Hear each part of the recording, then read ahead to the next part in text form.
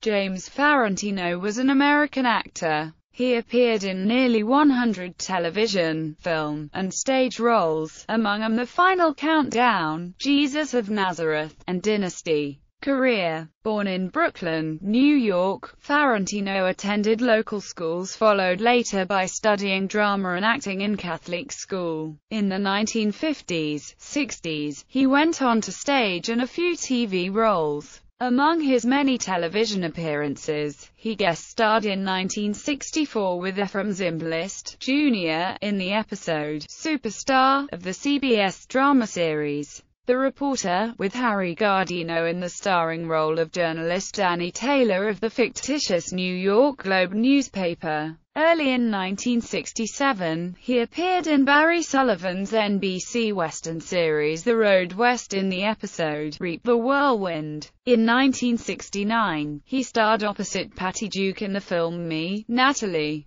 Farentino was one of the lawyers in NBC TV series The Bold Ones, which also starred Burl Ives and Joseph Campanella. He made two appearances in the 1970s anthology television series Night Gallery, once with then-wife Michelle Lee, and next with actress Joanna Pettet. In 1973, he appeared in the episode The Soft, Kind Brush of the romantic anthology series Love Story. During the 1970s, he appeared on NBC's Cool Million. In 1978, he was nominated for an Emmy Award for Outstanding Performance by a Supporting Actor in a Drama Special for his portrayal of St. Peter in the miniseries, Jesus of Nazareth. In 1980, Farentino starred in The Final Countdown with Kirk Douglas and Martin Sheen, and then played Juan Perón opposite Faye Dunaway's Eva Perón in the 1981 television movie Evita Perón.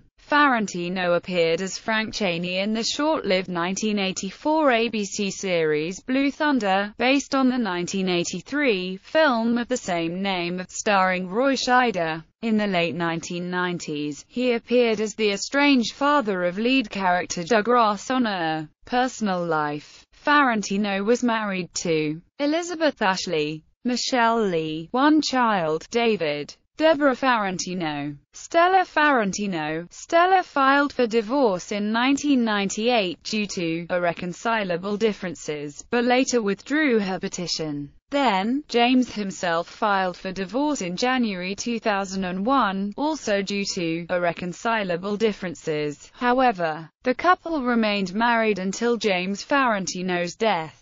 Farentino was charged with stalking his former girlfriend, Tina Sinatra, in 1993. A restraining order was issued against him after he entered a plea of nolo contendere. Farentino was arrested in Vancouver, British Columbia, on July 23, 1991, after the Royal Canadian Mounted Police intercepted a package containing 3.2 grams of cocaine being sent to his hotel room. Farentino was in town filming the TV movie Miles from Nowhere. He was charged with cocaine possession and released on bail. In 2010, Farentino was booked on suspicion of misdemeanor battery after a citizen's arrest was made against the actor. Police were called to Farentino's Hollywood home. He was taken into custody and booked at the Los Angeles Police Department's Hollywood area station.